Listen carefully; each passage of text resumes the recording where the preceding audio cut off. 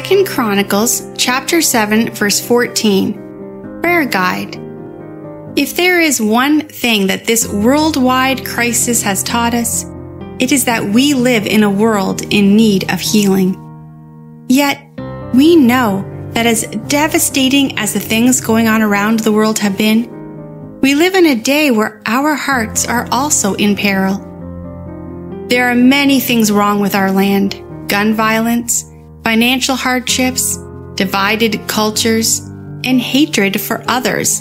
The list goes on and on. Fortunately, God has an answer to the problems that plague our world and fester in the human heart.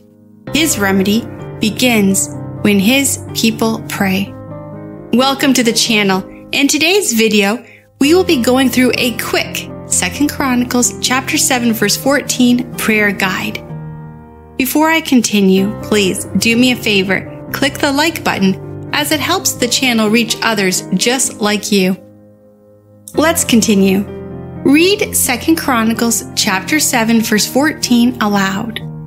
Let the words of God's truth sink into your mind as you pray based on this passage.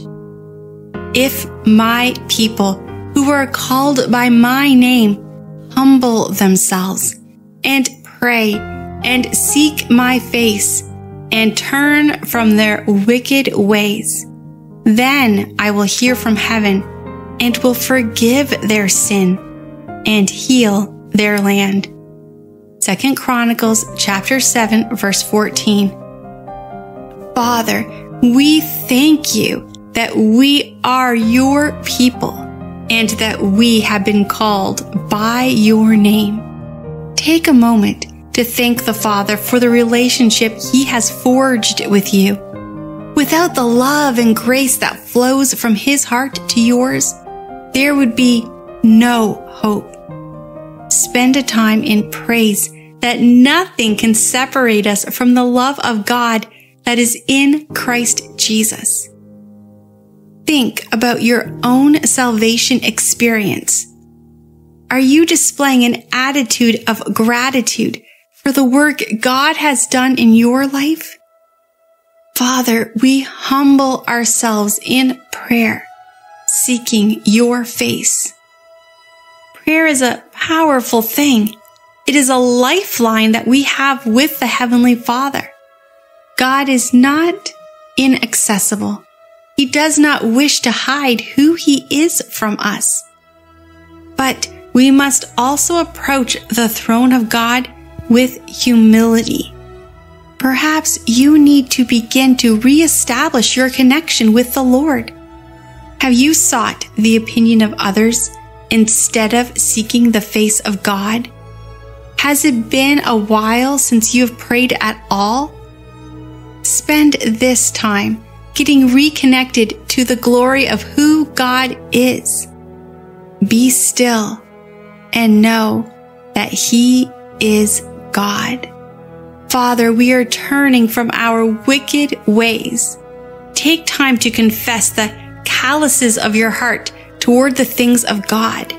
Have you sinned in some way against the will of God for your life? Perhaps there is something in your life that is blocking your ability to hear from God. If so, you may need to turn from it. Walk away from the ways that are not pleasing to the Father. Spend some time confessing your sins and resting in the promise of God's forgiveness. Father, we praise you that you hear our heartfelt prayers. Our Heavenly Father does not turn a deaf ear from the cries of His children. We can have confidence that He hears us and longs to rescue us. Thank you that no matter how many times we fail, God is always there to comfort, protect, and provide.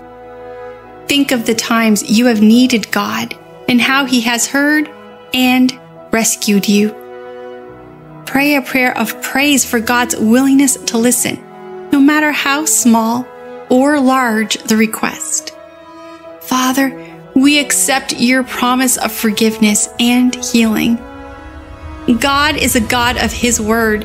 When God's children call on Him and seek His face and repent of their sins to walk in the newness of life, God heals. Spend a moment thanking God for His forgiveness and healing. Pray for friends or family members who are suffering from the aftermath of diseases and sicknesses. Pray for healing in other areas of need. Use this time as an opportunity to go boldly before the throne of God. I hope this guide will help you in your daily prayers. Don't forget to like the video and subscribe. I will see you in the next video. Stay blessed.